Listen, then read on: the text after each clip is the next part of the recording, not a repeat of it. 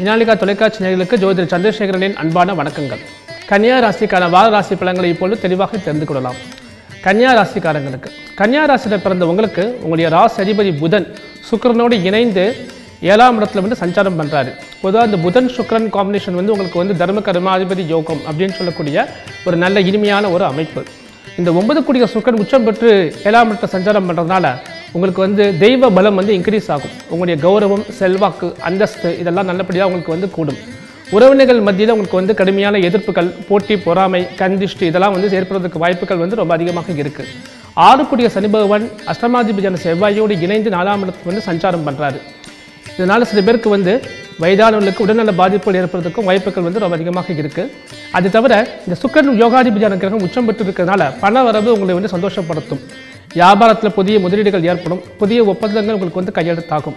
முக்கியமாக textiles jewellery fancy items home appliances products வந்து விற்கிறவங்களுக்கு உங்களுக்குலாம் வந்து வருமானங்கள் வந்து பல மடங்கு வந்து அதிகரிக்கும். உத்தியோகத்தில் இருக்கிறவங்களுக்கு செல்வச் செழிப்பு ஏற்படும். மேலிடத்தில் செல்வாக்கு வந்து உங்களுக்கு வந்து அதிகரிக்கும். உத்தியோகத்தில் பொறுத்த வரைக்கும் மேலிடத்தில் செல்வாக்கு வந்து அதிகரிக்கும். அதே சமயத்தில் நீங்கள் எதிர்பார்க்கக்கூடிய புதிய சலுகைகள் பதவி உயர்வு சம்பள உயர்வு வெளிநாட்டில் வந்து உத்தியோக நிமித்தமாக சில பேருக்கு போவதற்கான வாய்ப்புகள் வந்து ரொம்ப அதிகமாக ஏற்படும். குடும்பத்தில் சுப நிகழ்ச்சிகள் நல்லபடியாக நடக்கும். புதிய வீடு கிரகப்பிரவேசம் திருமண யோகம் இதெல்லாம் வந்து கைகூடும். நல்ல அதிர்ஷ்டத்தை தரக்கூடிய ஒரு அற்புதமான ஒரு வாரம் இது. மேலும் வரும் வாரத்திற்கான பன்னெண்டு ராசிக்கான வார ராசி பலன்களை தெளிவாக தெரிந்து கொள்ள மினாலிகா தொலைக்காட்சியுடன் இணைந்திருங்கள். நன்றி வணக்கம்.